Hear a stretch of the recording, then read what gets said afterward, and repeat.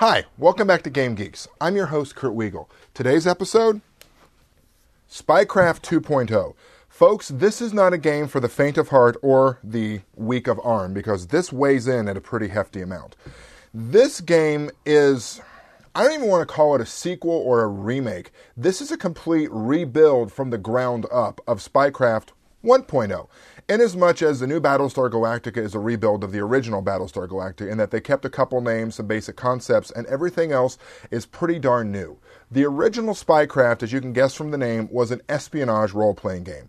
Now, espionage role playing has been around for a very long time, going back to things like Top Secret, Top Secret SI, and the James Bond role playing game, although it's really always taken a backseat to most of the other more popular genres fantasy, horror, supers, sci fi, etc. Spycraft 2.0, interestingly enough, takes a completely new approach to it. It's D, it's a D20 game, but it's really almost not recognizable as a D20 game if you're used to things like Dungeons and Dragons. This is a very different approach. It is a modern game, so most of the original classes that you're used to, obviously, gone.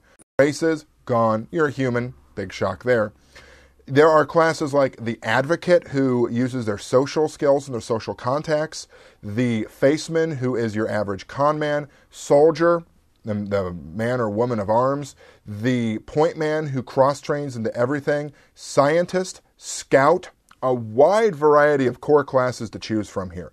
Additionally, this is very comp in my opinion it's an extremely complicated game. If you like crunch, if you like definition, if you like a lot of maneuvering that you can do in this, it's a really good game for you. You can design your background from the ground up. There are a huge variety of feats and feat trees to choose from. They have simplified the skill system down. Languages and fitting into other nationalities is now summarized into culture. It would take a very, very long time to go through this book in detail because there's a whole lot of this book to go through Really, folks, there's a lot there. You're getting quite a bit for your money with this.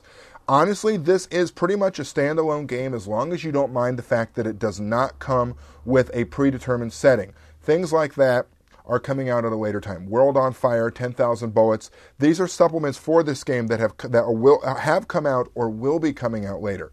One of the most interesting innovations with this is in Spycraft 1.0 they had the chase mechanic which is how you could really effectively and dramatically role play a car chase, a foot chase, a boat, plane, anything where you're pursuing somebody else. They've really expanded that in this case to a variety of other sorts of, well, chases, if you will. There are things like seductions where you use different maneuvers to interact with the person that you're trying to seduce. Now, they could be seduced for carnal reasons, seduced for information, make them like you better, and it's really almost a series of mini games in and of themselves. So you could use the but I can't possibly do that maneuver when the person trying to seduce you uses the but wait, it will be fun maneuver. The, this is used for seductions, it's used for chases, it's used for hacking. In theory, you could really use this for almost any interaction from combat to research to seduction and hacking, like they've already done it. To me, it is a very neat innovation. It's a very interesting ploy. To be honest with you, it's a little too complicated for me. I prefer my games a bit more streamlined, a bit more easy for the player and the game master to understand. But like I said, if you're looking for something with some interaction, if you're looking for something that requires some work, some crunch, this is most definitely the game for you. It is easily available at almost any online vendor and most likely at your friendly local game store. Now, if you have any questions, comments, things you'd like to see us review, please feel free to contact us at knweigel at yahoo.com. For Game Geeks, I'm your host, Kurt Wiegel. Good night and good gaming.